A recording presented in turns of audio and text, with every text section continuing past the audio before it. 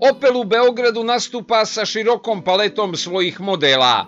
Tu su najpopularniji automobili njemačkog proizvođača. Tu su Opel Corsa, Opel Moka, električna Moka, eh, Astra, Crossland, Grandland i Opel Combo Life.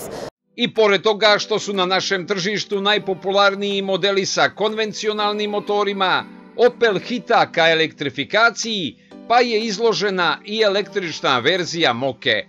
Mi kontinuirano radimo na poboljšanju svoje električne game, odnosno na produženju dometa, što je jedan i od ciljeva našeg brenda, e, da se eto, ta neka elektrifikacija dostigne, da svi, svoj, e, svi naši modeli imaju svoju elektrifikovanu verziju već sledeće godine, a da do 2028.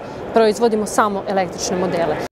Upravo ovaj model koji ima 156 konja i domet od preko 400 km dobio je priznanje za električni automobil godine u Srbiji.